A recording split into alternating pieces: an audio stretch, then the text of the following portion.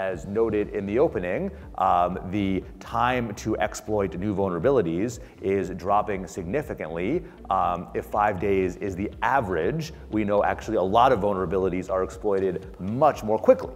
Um, with a speed that, frankly, almost no organization is able to mitigate and patch in time.